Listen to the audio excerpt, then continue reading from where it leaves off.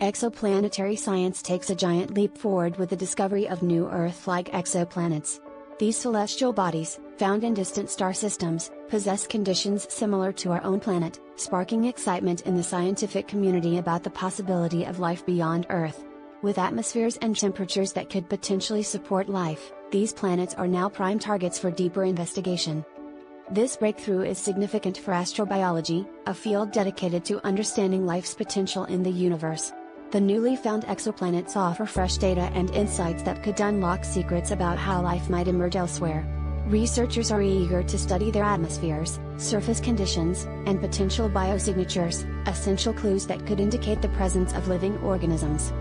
The implications of these discoveries stretch beyond just finding new worlds, they enhance our comprehension of planetary formation. By comparing these exoplanets to Earth, scientists can refine models of how planets develop and evolve in various environments.